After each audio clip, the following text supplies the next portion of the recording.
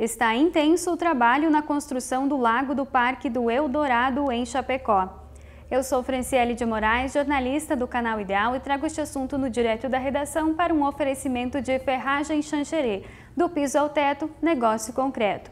Bom, diversos caminhões e máquinas trabalham na baixada do bairro Eldorado e parte do bairro Água Santa, em Chapecó, pois é lá que está sendo construído o Parque do Eldorado. O parque terá 200 mil metros quadrados e o lago 50 mil metros quadrados de lâmina de água, mas de volume serão 85 mil metros cúbicos que servirão de reserva para períodos de estiagem. Serão construídas comportas de alvenaria para que a água seja liberada quando for necessário. A Secretaria de Infraestrutura está acompanhando a obra que está sendo executada com recursos da Casan. A parte técnica das obras do Eldorado está a cargo da Secretaria de Planejamento e Desenvolvimento.